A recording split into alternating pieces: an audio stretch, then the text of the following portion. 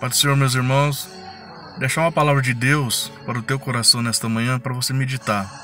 Salmo de número 84, versículo 6, fala que eles passaram pelos vales, passaram pelos vales das lágrimas.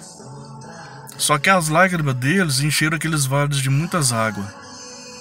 E as primeiras chuvas que vieram os cobriram de muitas bênçãos do Senhor Jesus. Eu não sei em qual vale que você está passando. Talvez você está passando pelo vale da tristeza. Talvez você está passando pelo vale da decepção. Talvez você está passando pelo vale da depressão. Talvez você está passando pelo vale da angústia. Talvez você está passando pelo vale da traição. Talvez você está passando pelo vale das lágrimas. Você tem chorado, são muitas lágrimas, você tem questionado a Deus os porquê. Mas eu tenho uma notícia boa para você da parte de Deus. As tuas lágrimas já encheram esses vales de muitas águas. Eu não sei qual é o vale que você está passando, mas as tuas lágrimas encheram esses vales de muitas águas. E as primeiras chuvas que estão vindo aí vão te cobrir de muitas bênçãos do Senhor Jesus. Se alegre na presença de Deus nesta manhã.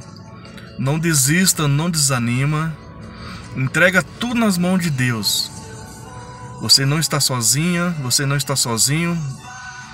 Tudo é no tempo de Deus. Mas nesta manhã Deus diz para você assim: "Minha filha, meu filho, confie em mim." Aleluia.